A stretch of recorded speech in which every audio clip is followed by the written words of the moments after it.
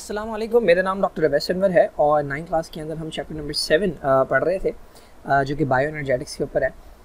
हमने बात कर ली है रोल ऑफ़ एटीपी से रिलेटेड फोटोसिंथेसिस हम पूरा डिस्कस कर चुके हैं। अब इसका लास्ट टॉपिक जो है मेन टॉपिक जो है, वो रेस्पिरेशन है, जो कि थोड़ा सा अगेन बड़ा टॉपिक है फोटोसिंथेसिस की जैसे तो बस ये रह गया है, इसके बाद ये चैप्टर जो है ये अख्ताम पजीर होगा। ना रेस्पिरेशन की डेफिनेशन में ऑलरेडी शायद पहले बता चुका हूँ कहीं पर कि रेस्पिरेशन एक ऐसा प्रोसेस होता है कि जिसके अंदर फ़ूड पार्टिकल्स जो होते हैं, उन्हें ब्रेक डाउन किया जाता है स्मॉल फ़ूड पार्टिकल्स और उनसे एनर्जी प्रोड्यूस की जाती है। रेस्पिरेशन और डाइजेशन के अंदर मेन डिफरेंस ये होता है कि डाइजेशन के अंदर जो ब्रेक डाउन होता है, वो एनर्जी पर्पजेज़ के लिए नहीं होता। डाइजेशन के अंदर जो ब्रेक डाउन होता है, उसके अंदर बड़े पार्टिकल्स को स्मॉल पार्टिकल्स के अंदर कन्वर्ट किया जाता है। और इसका रीज़न ये होता है कि बड़े पार्टिकल्स जो हैं, ये डाइजेस्टिव सिस्टम को क्रॉस करके जो है, वो आपके ब्लड में नहीं आ सकते। तो इन्हें स्मॉल पार्टिकल्स के अंदर कन्वर्ट किया जाता है ताकि ये एब्जॉर्ब किए जा सकें। ये प्रोसेस फिर जिसके अंदर बड़े पार्टिकल्स को छोटे पार्टिकल्स में कन्वर्ट करते हैं। ये प्रोसेस कहलाता है डाइजेशन और ये इंसानों के अंदर, या बड़े एनिमल्स जो होते हैं। उनके अंदर ये प्रोसेस जो है, ये आपके एक सिस्टम के अंदर होता है, जिसे हम डाइजेस्टिव सिस्टम या एलिमेंट्री कैनाल का नाम देते हैं। जब ये छोटे पार्टिकल्स बन जाते हैं तो ये एब्जॉर्ब होकर ब्लड में आ जाते हैं और ब्लड के बाद ये जाते हैं हर सेल के अंदर। अब सेल में जाने के बाद इसको फर्दर अगर तोड़ा जा रहा है और इससे एनर्जी प्रोड्यूस की जा रही, की जा रही है तो ये वाला जो प्रोसेस है, ये कहलाता है रेस्पिरेशन तो ये डिफरेंस है बिटवीन रेस्पिरेशन एंड डाइजेशन तो चूँकि जितने भी बॉडी के अंदर काम हो रहे होते हैं, दो तरह के प्रोसेस होते हैं. एक वो जो बिना एनर्जी के हो रहे होते हैं, लेकिन ज़्यादातर काम जो होते हैं, उन्हें कहीं ना कहीं किसी न किसी तरह से एनर्जी की रिक्वायरमेंट होती है. और वो एनर्जी हमारे पास कहाँ से आती है? जो हमारे पास न्यूट्रिएंट्स होते हैं यानी जो फ़ूड पार्टिकल्स हम लेते हैं उसके अंदर ऐसे मॉलिक्यूल कि जिनसे हम एनर्जी प्रोड्यूस कर सकें। तो वो न्यूट्रिएंट्स होते हैं जिन्हें हम तोड़कर एनर्जी प्रोड्यूस करते हैं। ठीक है तो सारे के सारे आ, कामों के अंदर कहीं ना कहीं एनर्जी की रिक्वायरमेंट होती है। सोर्स जो है इसका वो फ़ोटो एसिमुलेट्स हैं यानी प्रोडक्ट ऑफ़ फोटोसिंथेसिस है। प्लांट्स की अगर हम बात करें तो प्लांट्स जो है वो कोई खाना खाते नहीं है। प्लांट्स अपना खाना खुद बनाते हैं। तो वो जो प्रोडक्ट होता है फोटोसिंथेसिस का जो कि ग्लूकोज होता है वो उसको ब्रेक डाउन करते हैं और ब्रेक डाउन करके जो है वो उससे केमिकल एनर्जी रिलीज़ करते हैं। तो ये ब्रेक डाउन ऑफ़ फ़ूड जिसके अंदर एनर्जी रिलीज़ हो रही है इसे हम रेस्पिरेशन का नाम देते हैं। अच्छा अब यूजुअली क्या होता है सेल्स जो हैं वो ऑक्सीजन को यूज़ करते हैं ताकि फ़ूड को ब्रेक डाउन कर सकें और इसके नतीजे में जो है वो दो प्रोडक्ट बनते हैं हमारे पास carbon dioxide and water previously हमने फोटोसिंथेसिस की बात की थी तो फोटोसिंथेसिस की जो इक्वेशन थी uh, उसकी उलट इक्वेशन जो है वो आपको देखने को मिलेगी। फोटोसिंथेसिस के अंदर आप देखते हैं कि कार्बन डाइऑक्साइड जो है वो वाटर के साथ कंबाइन होता है और इसके अंदर एनर्जी लगती है। कहाँ से आती है एनर्जी जो सनलाइट है, वो एनर्जी प्रोवाइड करती है। और जब ये दोनों मिलते हैं तो उसके नतीजे में ग्लूकोज बनता है और साथ में ऑक्सीजन रिलीज़ होता है। ये जो इक्वेशन है, अगर आप इस तरफ़ देखेंगे तो आपको फोटोसिंथेसिस की लगेगी और जब आप इसको उलट कर देंगे, यानी ग्लूकोज को ऑक्सीजन की प्रेजेंस के अंदर तोड़ा जा रहा है और उसके नतीजे में कार्बन डाइऑक्साइड बन रही है वाटर बन रही है और वाटर बन रहा है और इसके साथ साथ एनर्जी रिलीज़ हो रही है। तो ये जो इक्वेशन है, ये रेस्पिरेशन को शो करती है। तो रेस्पिरेशन के अंदर रेस्पिरेशन जो है, उसे हम कैटाबॉलिक प्रोसेस कहते हैं। यानी ये एक ऐसा प्रोसेस है, जिसमें कोई चीज़ टूट रही होती है, जबकि जो फोटोसिंथेसिस है, उसे हम एनाबॉलिक प्रोसेस कहते हैं। यानी एक ऐसा प्रोसेस के जिसके अंदर कोई चीज़ बन रही होती है। तो हमने देखा इक्वेशन के अंदर एक मॉलिक्यूल ग्लूकोज का जो है, वो रिएक्ट करता है। छः मॉलिक्यूल्स ऑक्सीजन के साथ। और इसके नतीजे में छः मॉलिक्यूल्स बनते हैं कार्बन डाइऑक्साइड के और छः मॉलिक्यूल्स बनते हैं वाटर के। और इसके साथ साथ मेन चीज़ जो रिलीज़ होती है वो है एनर्जी तो एक ग्लूकोज का मॉलिक्यूल छः ऑक्सीजन के मॉलिक्यूल्स के साथ रिएक्ट कर रहा है और इसके नतीजे में छः कार्बन डाइऑक्साइड और छः वाटर प्रोड्यूस हो रहे हैं और साथ में जो एनर्जी रिलीज़ हो रही है, उसको स्टोर किया जाता है एक अदद मॉलिक्यूल के अंदर जो मैं इस चैप्टर के स्टार्ट में समझा चुका हूँ, कि जिसे हम ए का नाम देते हैं। तो ये प्रोसेस जो है ये हमारे पास रेस्पिरेशन कहलाता है। तो मेन प्रोडक्ट जो है हमारे पास एनर्जी है, जो प्रोड्यूस की जाती है और इसे स्टोर कर लिया जाता है एक मॉलिक्यूल के अंदर जिसको हम एटीपी का नाम देते हैं, जिसको हम एनर्जी करेंसी भी कहते हैं। अच्छा जिस तरह दो टर्म्स ब्रीदिंग दो टर्म्स डाइजेशन और रेस्पिरेशन के दरमियान जो है वो कन्फ्यूज़न होता है, बिल्कुल इसी तरह से रेस्पिरेशन और ब्रीदिंग या वेंटिलेशन ठीक है, इन तीनों टर्म्स के अंदर भी जो है वो कन्फ्यूज़न रहता है। आम तौर पे रेस्पिरेशन जो है वो यूज़ किया जाता है हवा के अंदर जाने को और बाहर आने को। जबकि इस प्रोसेस को रेस्पिरेशन कहना ठीक नहीं है, बल्कि इस प्रोसेस को नाम दिया जाता है ब्रीदिंग या इसी के लिए दूसरा जो टर्म यूज़ की जाती है, वो है वेंटिलेशन तो ब्रीदिंग या वेंटिलेशन कहते हैं एयर के अंदर जाने को लंग्स के अंदर जाने को और बाहर आने को. ना ब्रीदिंग या वेंटिलेशन ज़रूरी है किस चीज़ के लिए? रेस्पिरेशन के लिए. रेस्पिरेशन में बता चुका हूँ कि ये वो प्रोसेस है कि जो सेल के अंदर होता है सेल के अंदर होता है और इसके अंदर फ़ूड को ब्रेक डाउन किया जाता है ताकि उससे एनर्जी प्रोड्यूस की जा सके। अगर रेस्पिरेशन ऑक्सीजन की मौजूदगी में हो रही है, दो तरह की रेस्पिरेशन होती है, एक के लिए ऑक्सीजन रिक्वायर्ड होती है, एक के लिए ऑक्सीजन रिक्वायर्ड नहीं होती। तो अगर हम ऑक्सीजन की रिक्वायरमेंट वाली रेस्पिरेशन की बात करेंगे तो सेल के अंदर तक ऑक्सीजन पहुँचाने के लिए आपको ज़रूरी है कि आप कौन सा प्रोसेस करें? ब्रीदिंग करें ब्रीदिंग या वेंटिलेशन करें, क्योंकि जब तक आप ब्रीदिंग या वेंटिलेशन नहीं करेंगे ऑक्सीजन आपकी बॉडी के अंदर नहीं आएगी। और जब तक अंदर नहीं आएगी, तब तक ये सेल के अंदर नहीं जाएगी और जब तक सेल के अंदर नहीं जाएगी, तब तक आप उसकी मौजूदगी में फ़ूड को ब्रेक डाउन नहीं कर सकते और एनर्जी प्रोड्यूस नहीं कर सकते, यानी आप रेस्पिरेशन नहीं कर सकते। तो रेस्पिरेशन वो प्रोसेस है जो सेल में हो रहा है, जिसके अंदर फ़ूड टूट रही है और उसके नतीजे में एनर्जी प्रोड्यूस हो रही है। उसके लिए जो ऑक्सीजन चाहिए वो आती है, उस प्रोसेस से जिसको आप ब्रीदिंग कहते हैं या उसी जिसको आप वेंटिलेशन कहते हैं। तो ब्रीदिंग या वेंटिलेशन के अंदर हवा अंदर जाती है ऑक्सीजन नहीं, हवा, पूरी की पूरी हवा जिसके अंदर ऑक्सीजन भी होती है कार्बन डाइऑक्साइड भी होती है। उसके बाद एक और प्रोसेस होता है जिसको आप कहते हैं गैसेस एक्सचेंज ना, ये गैसेस एक्सचेंज जो होता है, ये आपके लंग्स के अंदर जाके जो एल्वियोलाई होते हैं, जो बलून लाइक स्ट्रक्चर्स होते हैं, उनके अंदर ये गैस एक्सचेंज होता है. तो यहाँ से हवा आई, इसके अंदर ऑक्सीजन ज़्यादा है और कार्बन डाइऑक्साइड कम है. यहाँ से ब्लड जा रहा है तो ब्लड के अंदर ऑक्सीजन कम है और कार्बन डाइऑक्साइड ज़्यादा है. तो डिफ्यूजन होता है गैस एक्सचेंज होता है, यानी ऑक्सीजन जो है वो यहाँ से मूव करके यहाँ आ जाती है कार्बन डाइऑक्साइड यहाँ से मूव करके यहाँ चली जाती है। तो सबसे पहला स्टेप जो है वो रेस्पिरेशन सॉरी सबसे पहला स्टेप जो है वो है ब्रीदिंग या वेंटिलेशन ब्रीदिंग या वेंटिलेशन से हवा जो है वो एल्वियोलाई तक आती है। एल्वियोलाई के बाद अंदर दूसरा प्रोसेस होता है जिसको आप गैस एक्सचेंज कहते हैं। गैस एक्सचेंज के नतीजे में जो ऑक्सीजन है वो ब्लड के अंदर आती है और फिर यही गैस एक्सचेंज दोबारा होता है टिश्यूज़ के लेवल पे। यानी किसी भी सेल के ऊपर जाके ये जो ब्लड है ये किसी भी सेल के पास जाएगा और फिर उस सेल के अंदर जो है ऑक्सीजन कम है। तो ये जो ऑक्सीजन ब्लड के अंदर ज़्यादा है, ये सेल के अंदर चली जाएगी। तो एक गैस एक्सचेंज यहाँ पर भी हो रहा है। तो ब्रीदिंग या वेंटिलेशन हुई, उसके बाद गैस एक्सचेंज हुआ और उसके बाद फिर जाकर कहीं रेस्पिरेशन होती है, यानी इस ऑक्सीजन को इस्तेमाल किया जाता है और फ़ूड को ब्रेक डाउन किया जाता है। तो ये डिफरेंट टर्मिनोलॉजीज़ हैं, इनके बारे में आपको क्लियर आइडिया होना चाहिए। ना let's talk about types of respiration मैं ऑलरेडी बता चुका हूँ कि दो तरह की रेस्पिरेशन है। एक वो है जिसके अंदर ऑक्सीजन की मौजूदगी में ग्लूकोज को तोड़ा जाएगा।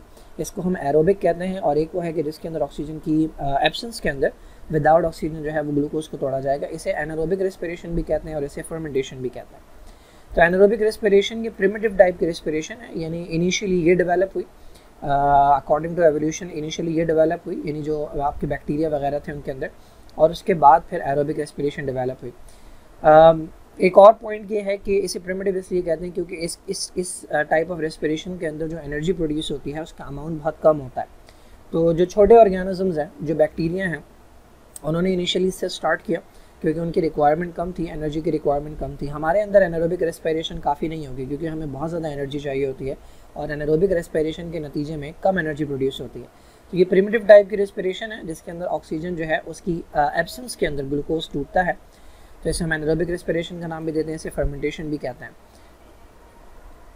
किस किस के अंदर होती है ये? तो बैक्टीरिया के अंदर होती है, सारे बैक्टीरिया नहीं, कुछ बैक्टीरिया होते हैं जो कि ऑक्सीजन की एब्सेंस के अंदर फ़ूड को तोड़ते हैं। फंजाई के अंदर होती है एंडोपैरासाइड ये वो ऑर्गेनिजम्स हैं जो कि हमारी बॉडी के अंदर मौजूद होते हैं। किसी भी लिविंग ऑर्गेनिज्म की बॉडी के अंदर मौजूद होते हैं तो कई बार ऐसी कंडीशंस के अंदर होते हैं जहाँ पर ऑक्सीजन अवेलेबल नहीं होती तो ज़िंदा रहने के लिए वो एनरोबिक रेस्पिरेशन का सहारा लेते हैं।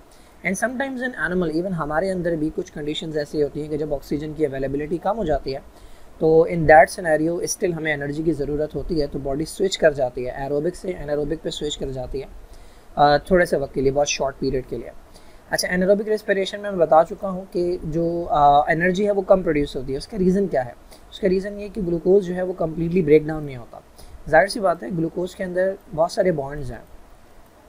ठीक है C six H twelve O six जब आप सारे बॉन्ड तोड़ेंगे तो मैक्सिमम एनर्जी प्रोड्यूस होगी। जब आप कम बॉन्ड तोड़ेंगे तो कम एनर्जी प्रोड्यूस होगी। तो इसके अंदर कंप्लीट ब्रेक डाउन नहीं होता। ग्लूकोज जो है वो कार्बन डाइऑक्साइड और वाटर के अंदर कन्वर्ट नहीं होता, बल्कि वो दूसरे मॉलिक्यूल्स के अंदर कन्वर्ट होता है। तो चूँकि स्टिल बॉन्ड सलामत हैं तो इसलिए एनर्जी जो है वो कम प्रोड्यूस होती है। तो कितनी energy five to ten percent यानी अगर एरोबिक रेस्पिरेशन की बात करूँ मैं तो एरोबिक रेस्पिरेशन के अंदर मान लें कि अगर हंड्रेड हंड्रेड एनर्जी प्रोड्यूस हो रही है, कोई भी यूनिट ले लें हंड्रेड एनर्जी प्रोड्यूस हो रही है तो एनरोबिक रेस्पिरेशन के अंदर सिर्फ़ फाइव या टेन जो है वो एनर्जी प्रोड्यूस होती है।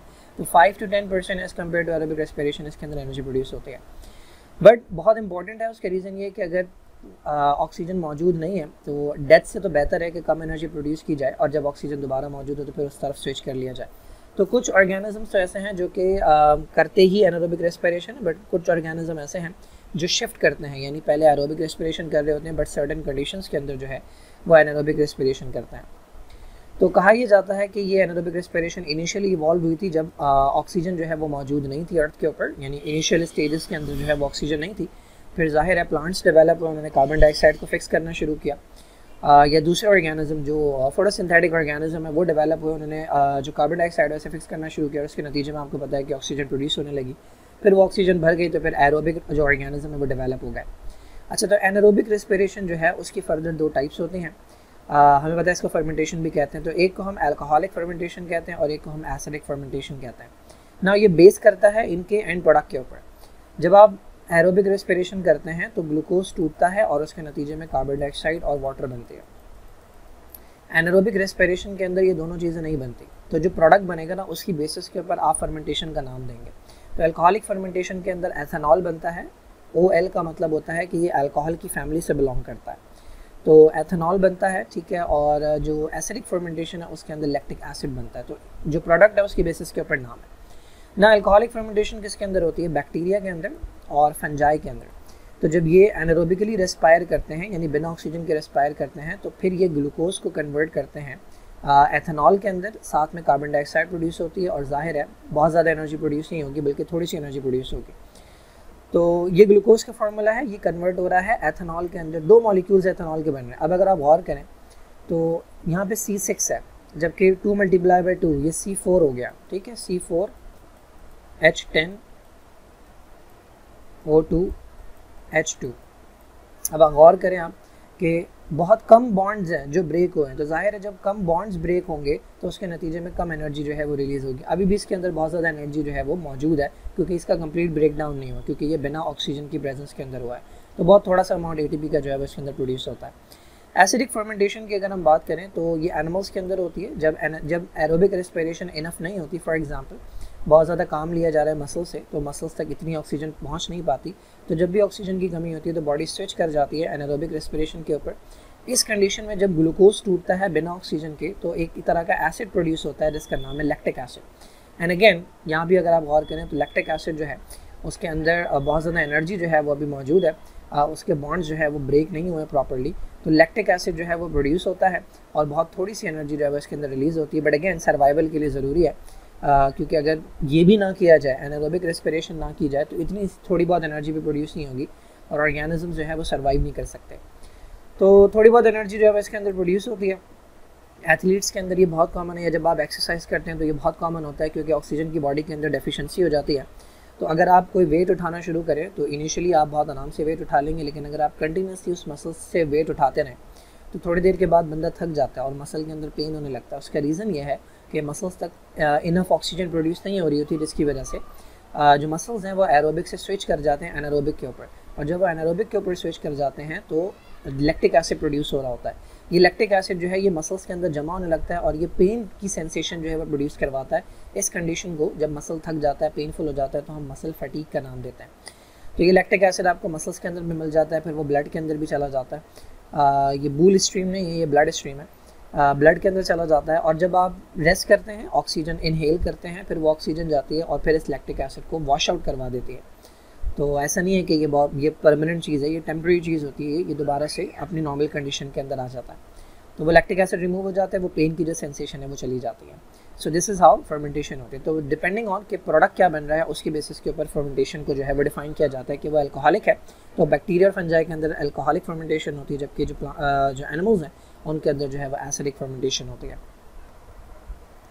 थोड़ी सी बात इंपॉर्टेंस के ऊपर कर लें तो एनरोबिक रेस्पिरेशन जो है आ, मैं पहले ही बता चुका हूँ कि ये एमरजेंसी अरेंजमेंट है एनर्जी के लिए क्योंकि जब ऑक्सीजन अवेलेबल नहीं है तो वो वो वो ऑर्गेनिजम्स जो कि ऑक्सीजन की प्रेजेंस में सर्वाइव करते हैं अगर उनके पास ऑक्सीजन शॉर्ट वक्त के लिए नहीं है थोड़े से वक्त के लिए नहीं है तो अगर वो एनरोबिक पर स्विच ना करें कि भाई कम एनर्जी प्रोड्यूस होगी अपने नुकसान का सोचते रहें तो उनकी डेथ हो जाएगी। तो ये इमरजेंसी अरेंजमेंट है एनर्जी की कि जब आपके पास ऑक्सीजन की कमी है तो उस कंडीशन के अंदर फॉर शॉर्ट पीरियड आप जो है वो स्विच कर जाते हैं और एनरोबिकली एनर्जी प्रोड्यूस कम एनर्जी होती है बट इतनी होती है कि आपको ज़िंदा रख सके। और फिर जब दोबारा ऑक्सीजन आ जाता है तो बहुत सारे ऑर्गेनिज्म जो है वो फिर से स्विच कर जाता है। बट अगेन कुछ ऐसे भी हैं जो कि हमेशा के लिए एनारोबिक रेस्पिरेशन करते हैं। मतलब ऑक्सीजन हो या ना हो, उन्हें कोई फ़र्क नहीं पड़ता। वो सिर्फ़ और सिर्फ़ एनारोबिक रेस्पिरेशन करता है। इसके अलावा कमर्शियली अगर आप देखें तो कुछ प्रोडक्ट्स हैं जो कि एनारोबिक रेस्पिरेशन के नतीजे में या फर्मेंटेशन के नतीजे में हमें मिलते हैं। एक तरह की हमने देखा था कि जो फर्मेंटेशन थी, उसे हम एसिडिक फर्मेंटेशन करते हैं, कहते हैं तो उसके नतीजे में जो एसिड प्रोड्यूस होते हैं विनेगर है, ठीक है, या दूसरे एसिड्स हैं जो प्रोड्यूस होते हैं इसके नतीजे में, जो कि कमर्शियली हमारे पास यूटिलाइज होते हैं।